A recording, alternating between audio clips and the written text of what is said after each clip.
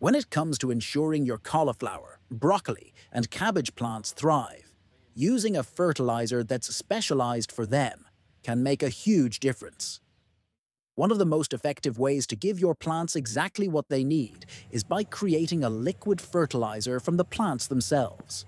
This allows you to recycle the nutrients these vegetables contain, returning them directly to the soil where they can continue to nourish your garden. Not only does this reduce waste, but it also ensures your plants get the nutrients they need in the most natural way possible. The best part is, it's easy to make and requires just a few ingredients you already have in your garden.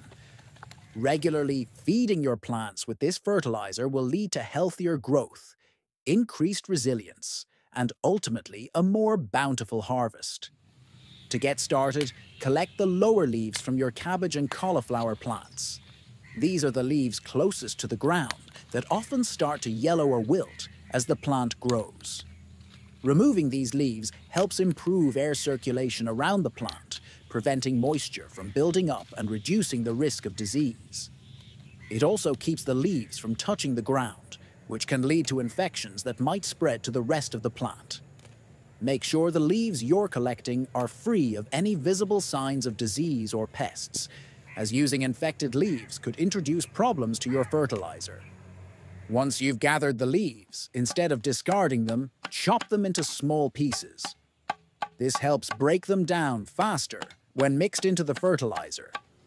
Place the chopped leaves into a container, and for each handful of leaves, add an equal amount of fully decomposed compost.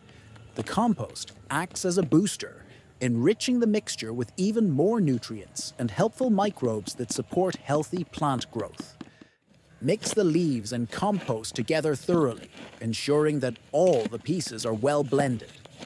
After mixing, fill the container with non-chlorinated water, leaving some space at the top. It's important to use water without chlorine, because chlorine can kill the beneficial microorganisms that help break down the leaves and compost into a nutrient-rich fertilizer. Once the container is filled, cover it loosely this allows air to circulate while keeping pests and debris out. Place the container in a shady area of your garden and let it sit for at least one week. During this time, stir the mixture occasionally to help everything break down evenly. After a week, the mixture will have started to break down and release nutrients into the water, creating a concentrated liquid fertilizer. To use it, take the contents of the container and mix it into a larger bucket of water. A 5-gallon bucket works well for this. You'll end up with around 15 litres of liquid fertilizer from just a few leaves and a handful of compost, making this not only an effective method, but also a highly efficient one. Because the fertilizer is made from the leaves of cauliflower and cabbage, it contains a high concentration of the specific nutrients these plants need to grow and thrive. This makes it particularly beneficial for other plants in the same family, like broccoli and kale, but it can be used for any plant in your garden.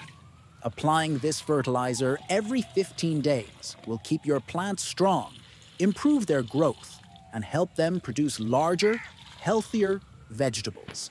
This method is a great way to recycle parts of the plant that would otherwise go to waste, turning them into a valuable resource for your garden.